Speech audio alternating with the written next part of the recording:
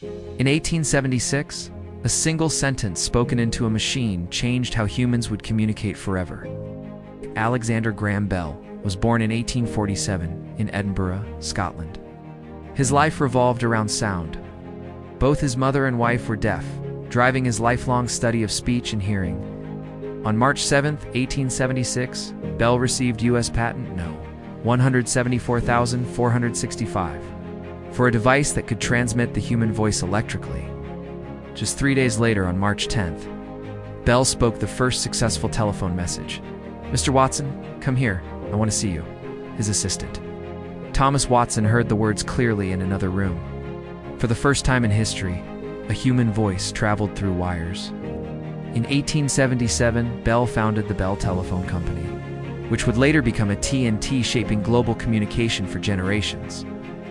Bell didn't just invent a device, he changed how humans connect across distance. Every call today traces back to that moment in 1876 when the world learned how to speak through wires.